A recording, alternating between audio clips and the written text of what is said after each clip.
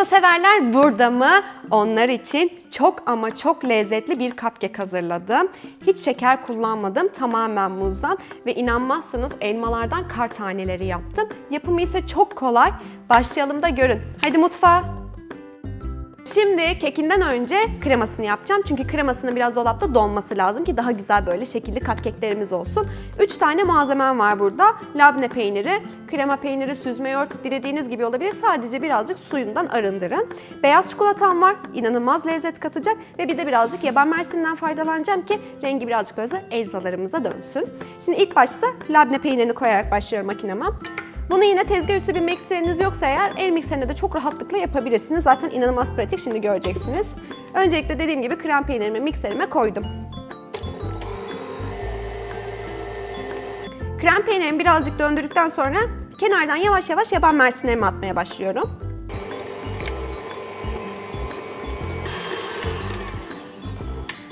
Hafifçe yaban mersinlerim karıştı. Şimdi kenardan beyaz çikolatayı ekleyeceğim. E, bu aşamada dik, dikkat etmeniz gereken şey şu, e, krem peynirini çok fazla çırpmamanız. Çünkü krem peynirini biraz fazla çırptıkça sulanmalara sebep oluyor. Bu da iyi bir e, kremanız olmasını engeller.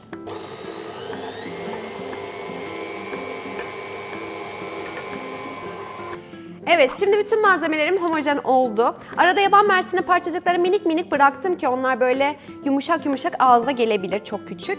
Şimdi bunu sıkma torbama alacağım. Ucuna böyle bir duy seçtim ben bugün. Bu olmasa da olur ya da farklı bir şekilde duy taksanız da olur. Ben sadece biraz daha şekli güzel olsun diye bu e, ucu tırtıklı yıldız duy diye anılan duyu kullanacağım. Kremamı koymadan önce bunu koyuyorum.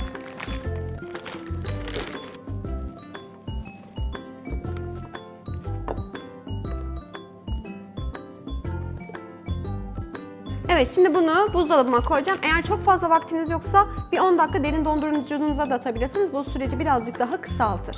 Evet şimdi kremam dolapta dinlenirken ben de kekime başlayacağım. Ee, bu kekimde malzemelerim tereyağı, yumurta, muz püresi, tam buğday unu, kabartma tozu, karbonat ve birazcık da tarçın var. Muz püresi e, olgunlaşmış muzlardan olması çok önemli. E, olgunlaştıktan sonra onları böyle blenderdan bız bız çekiyorsunuz. Benimkiler bayağı böyle siyah dönmüşlerdi artık karardılar. Hemen bu sıvı malzemelerle başlayıp unu ilave edeceğim. Sonra hop fırına. İlk başta tereyağımı koyarak başlıyorum miksere.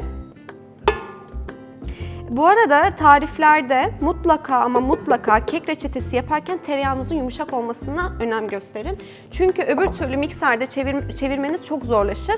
Bayağı zaman harcarsınız. Onun için böyle yapacağınızdan bir iki saat öncesinde tereyağınızı dışarı çıkarabilirsiniz. Şimdi yumurtalarımı kırıyorum içine.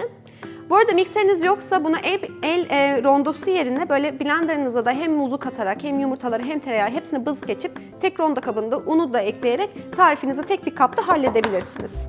Yumurtalarımı kırıyorum. Muz püremi koyuyorum. Şimdi hepsini karıştırıyorum.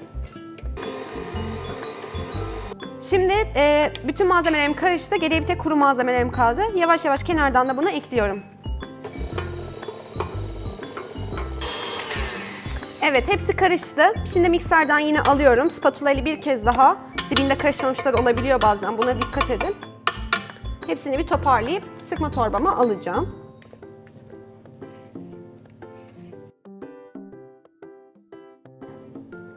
E, fırınımı 180 derece ayarladım. E, mutlaka pastacılıkta fırını öncelikten e, ayarlamaya dikkat edin. Çünkü eğer tam ürünü attığım sırada eğer e, fırını ayarlarsanız ürününüzde bayağı bozulmalar olacaktır. Pişmeyecektir, böyle biraz sakızımsı olacaktır. O yüzden bütün malzemeleri hazırladıktan sonra mutlaka eliniz bir fırına gitsin. Fırınınızı da ayarlayın. Doldururken mutlaka birazcık çok kabaran bir kek değil.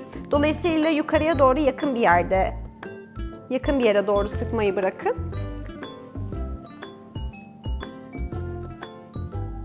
Evet, bu reçeteden tam tamına 10 tane cupcake'im çıktı. Eğer daha kalabalık bir parti verecekseniz arkadaşlarınıza bunu çarpı 2 yapıp 20 tane de yapabilirsiniz. Ya da istediğiniz kadar arttırabilirsiniz. Ya da aynı şekilde azaltabilirsiniz de.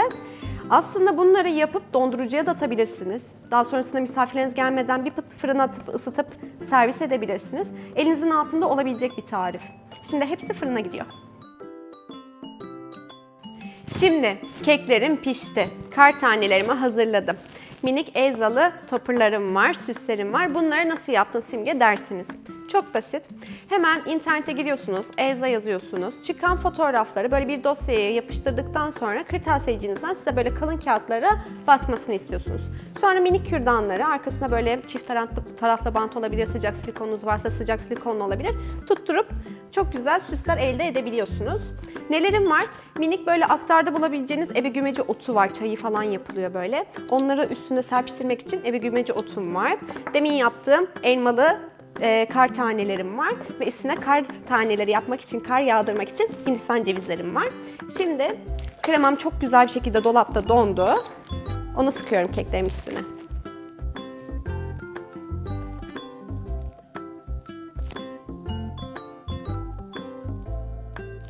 Şimdi süslemek için biraz yardıma ihtiyacım var. O yüzden Seda hadi gel. Ne yapacağım? Evet. Şimdi istersen bunları koyabilirsin. Ben de birazcık kar yağdıracağım. Nasıl koyayım? Şöyle koyayım mı? Olur. Aynen. Hindistan cevizinde küçük bir evrendeniz olabilir. Böyle küçük karlar yağdırabilirsiniz cupcake'inizin üstüne. Sana bir şey söyleyeceğim. Bence bu e, videodan sonra senin e, patisyeri coşacak. Evet Ortaköy'e beklerim. Ortaköy'de pateye. evet. Gerçekten çok kolaylar. Gördün. Çok az malzemeyle, küçük tekniklerle. Bir de bunlar mesela kestirilip böyle kendileri yapsınlar diye de hani aktivite yapılabilir. Bunların üzerine resimleri yani Elsa'yı çok seven çocuklar el, onun bilmem tacını falan çizebilirler. Mesela evet. Sonra küçük oyuncakları, karakterleri var. Onları bastırıp her birine değişik yapabilirler. Evet ben bunları yerleştiriyorum. Simge yine bir yaş pastasından sonra harika bir şey yaptın. Teşekkür Bütün ederim. çocuklar inşallah çok keyifle bunu anneyle beraber yaparlar ve çok keyifle de yerler. Afiyet bal olsun. Ellerine sağlık. Afiyet olsun. Yaparsanız mutlaka fotoğraflarını bizimle paylaşın. Görüşürüz.